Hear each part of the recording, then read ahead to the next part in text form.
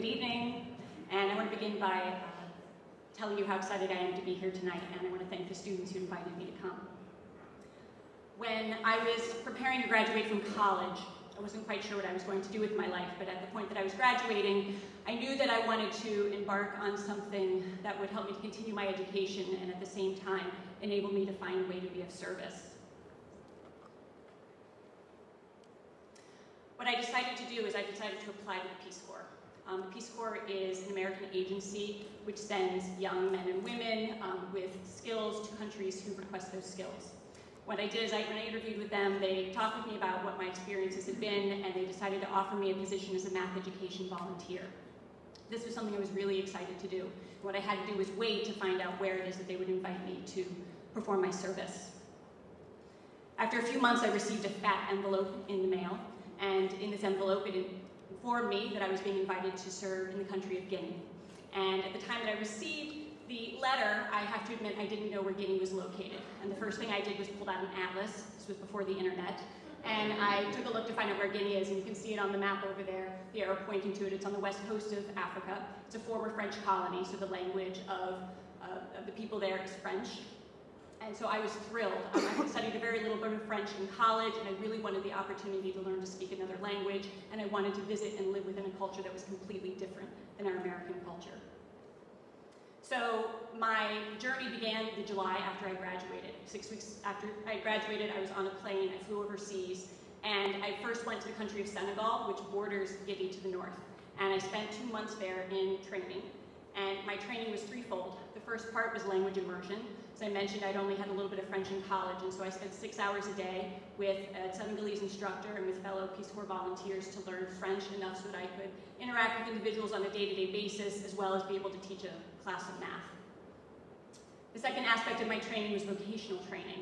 So I had not done my undergraduate degree in education. I was a liberal arts major. And so I had to have a crash course in what it would be to teach in a school in Guinea. I went into a public school and they followed the French system of education there. And then the third element of training was acculturation. So they had to prepare me for what life was going to be like in Guinea because it was nothing like anything we experience here in the United States. And that in some ways was the most important part of the training that I had. Upon the completion of my training, I was sworn in as a volunteer. And I wanted to include the oath that I took as a volunteer. Um, at the time, it was very, very meaningful to me. Let me read it to you. I, Mary, do solemnly swear that I will support and defend the Constitution of the United States against all enemies, foreign and domestic, that I will bear true faith and allegiance to the same, that I take this obligation freely, without any mental reservation or purpose of evasion, and that I will well and faithfully discharge the duties of the office on which I'm about to enter. This was a weighty oath to take, and to be honest, I didn't, wasn't aware when I was looking at the Peace Corps that I would be taking this oath. And on the day that we were sworn in, it was the ambassador to Guinea who had us um, swear in.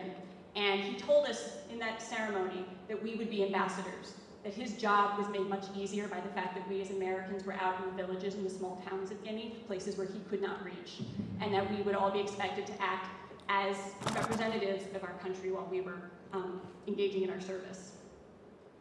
So off I went. This is a picture of me on a road near my village. And as you can see, I'm wearing traditional Guinean wear at that time. One of the pieces of our training, I mentioned culturation is really, really important. And one of the aspects of going to Guinea was understanding that Guinea was a country that where 85% of the population was Muslim. And so that required that the clothing that I wore reflected the values of the people where I lived. And so one of those values is the fact that as a woman, it would be considered unseemly or immodest if I were to show, for example, my leg above my knee. So all of the clothing that I wore always made sure that I dressed and long skirts like you see what I was wearing in the picture. But at the same time, there was no concern about arms showing. So for example, I frequently wore tank tops kind of like I'm doing right now, and I didn't need to cover my hair as well. The requirements for women were actually very similar to the requirements for men. Uh, men also never wore shorts. And in fact, it was considered unseemly for an adult male or female to wear shorts. Men and women wore pants or they wore skirts. And as an American, it was a little bit difficult because it was hot and there were days where I wanted to wear shorts but I felt that if I didn't, I would be perceived by those around me as not being someone who was dignified or worthy of respect.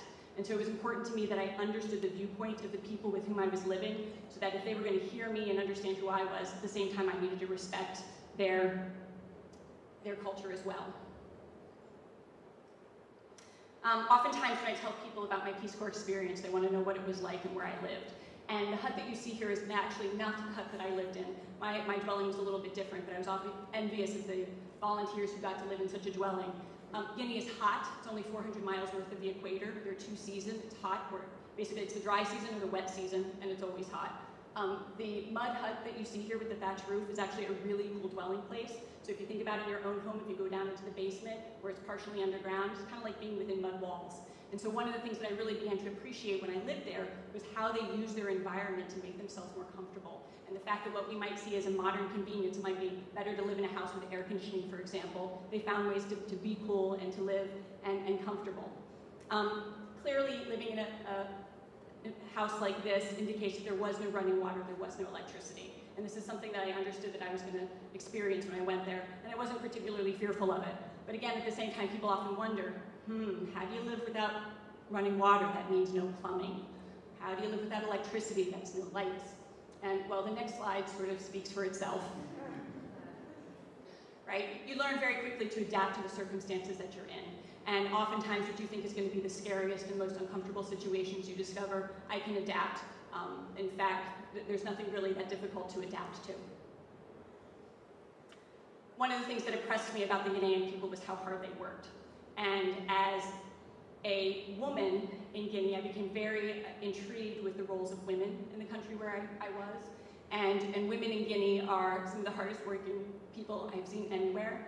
Um, because they lack basic in public infrastructure like we have, like running water and electricity, the, the burden of household duties do fall on the women. And fetching water, for example, daily is a chore. Uh, fetching firewood in order to, to cook for the family is important. And one of the difficulties that I had is, of course, I didn't have running water in my house either. And there was a pump about 50 meters from my house that I would have to walk to to get water. And I, I mentioned before about dress and having appropriate dress. Well, there were also appropriate behaviors for how I was supposed to act as not only a a teacher, and a teacher was considered a valued member of the society, of the community, but how are supposed to act as an adult woman. And adult women do not pump water. Pumping water is, is child's work. And when I mean child's work, I mean the work of six and seven year olds. So when I would go to the pump to get water, because in my mind that was my responsibility to provide myself with that service, I would find six and seven year old girls there, and they didn't want me to pump water. They would pump it themselves, and they would take these huge five gallon, 10 gallon drums, and they would lift it and put it on their heads, and they would want to walk it home. And I was constantly having a, a, struggle within myself. Do I allow children to do this? Do I do it myself? Sometimes I did it myself. Sometimes I let the children do it. Uh, it you know, as a Peace Corps volunteer and as someone who was living in a different culture, finding a way to respect their values and at the same time respect my own values and what was important to me was always a daily struggle. In this picture, I wonder if you can see where I am. right? Fote right? I'm clearly a very fair-skinned American, and wherever I went in Africa, I stood out. And there's a special name for white foreigner in the local language, local language was Susu, and it was Fote.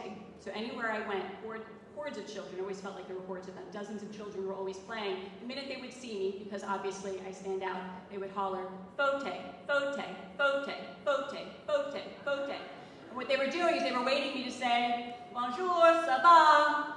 And when I did that, they'd get excited and they'd run around and they'd come up and they'd want to shake my hand. Every time I left my home, every single time I left my home, people would holler, Fote, Fote, Fote.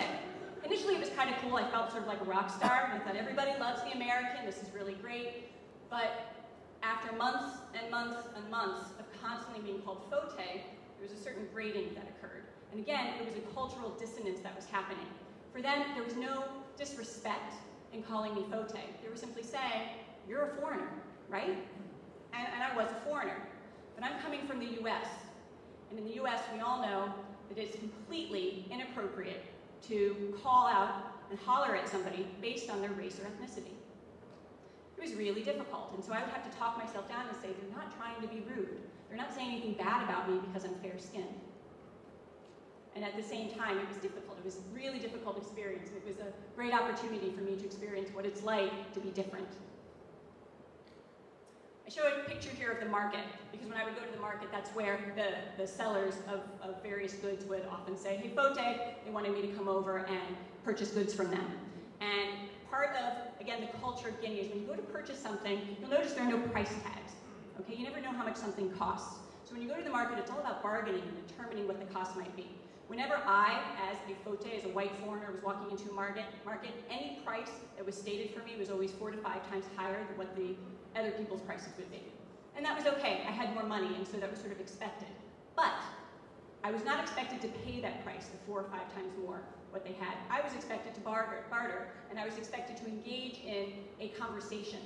So here in the United States, we like to run to the store, we run in, we run out, we're hoping that the lines are really quick, that no one's gonna hold us up. You're expected to have a conversation. The conversation never begins with, how much does that cost? The conversation always begins with, hi, how are you doing? How's your mom? How's your dad? How's your spouse? How are your kids? What are you doing tonight? What did you do yesterday? Things are good. Yeah. So what do you think about that uh, piece of cloth over there? How much do you think it is? Oh, do you think your mom would like it? Do you think your dad would like it? what about your sister? And so it's always a conversation, like a 20 minute conversation. This was like agonizing. And again, as an American, the last thing you want to do, really, at least I wanted to do, was barter. I just wanted to know how much does it cost, let me pay it and get out of here. But I learned that that was rude. And I had to stop and I had to talk. And that was part of making connection and really became a lot of fun. Um, I have to admit, there was one time when I was in uh, the capital of Conakry, and I, I was bartering, bartering, again, for some cloth at one point, and it was, it was a long exchange. At the very end of it, when I finally got the deal that I wanted, the gentleman said to me, ma'am, you're hard. And at that point, it was the best, best compliment I got the entire time I was there, because it meant that I had learned how to bargain. So one of the things about living abroad is there comes a point when you are not shocked by anything anymore. So all the things that seemed really different to you while you were there suddenly aren't that different anymore. Um, this is a picture of a taxi brousse. Um, when you are traveling in Guinea, you always have to travel by taxi. There are no individual cars. Individuals don't own cars. Um, you, you, you travel together. So you go to the taxi station, and there's no particular taxi leaving at 11 o'clock. So if you show up at whatever time, you have to wait until the taxi is full before it takes off which could be all day, could be until the next day. You never know how long you're going to be waiting for the next ride to get yourself to the town. And what you'll notice, of course, are all the things that are piled on top. That was completely normal. Okay, the first time I saw it, I thought, you know, how can that be safe? And the gentleman hanging off the back, that's nothing. Half the time they had things like goats and chickens hanging off the back that they strapped on. And again, all I could ever think was, oh my goodness, if the people at PETA ever saw this, they'd never allow it, right? But in Guinea, that's just the way things were done. When I finished my assignment, I came home and I was really excited to come back to the United States. I actually came to New York City after I was in West Africa, and I'm not a native New Yorker, um, but I am an East Coaster. When I came back to New York, I was really excited to be anonymous. Um, I was excited to be able to walk down the street and for nobody to care who I was or what I was doing. I didn't have to represent the United States or behave in any particular way. I, like I said, I was completely anonymous.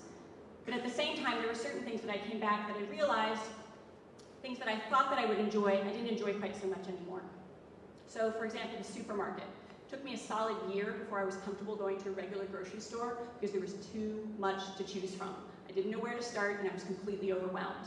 In the markets in Guinea, you had no choices. It was always like three or four things, whatever happened to be in harvest, that's what you ate, that's what you bought. Coming back to the US, I didn't know what to do with the supermarkets. The other thing is when I was in Guinea, there was a lot of talk about how wealthy Americans were. And as a recent college graduate saddled with college loans, I was making $180 a month as a Peace Corps volunteer. I didn't feel like I had a lot of money. And so this conception that I was somehow wealthy to me seemed laughable. When I came back to the United States and just driving from the airport on the highway, seeing all the incredibly shiny cars as compared to what I had seen in Guinea, my first thought was, my God, they're right, we're wealthy. I had no idea until I had gone somewhere else and came back and saw it from very, very different eyes.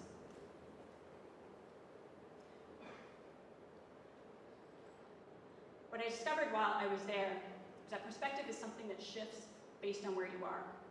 Um, if you've ever had the experience of going to the beach and you put your towel and you put your umbrella on the sand and then you wade out into the water and you're swimming and you're enjoying yourself, and at some point you stop and you look back to see where your beach umbrella and towel are, and it's not there, right? You realize that it's way down the other side of the beach and that you've been swept slowly aside by, by the current to another portion of the beach. That's what happens when you travel somewhere else and you live among the people and you live among the culture, you begin to realize that your perspective has completely shifted and what you were expecting to see, you're no longer going to see. I know that there are a lot of seniors who are in um, the audience tonight and you're going to be graduating soon and you'll be heading off to college. And as you go to college, you're going to have the opportunity to be in a completely different environment where your perspective and your assumptions about life are going to be challenged. It's a fabulous journey. You don't need to go to West Africa or Guinea to have your perspective reshaped. When you simply put yourself in positions that make you uncomfortable, it will happen.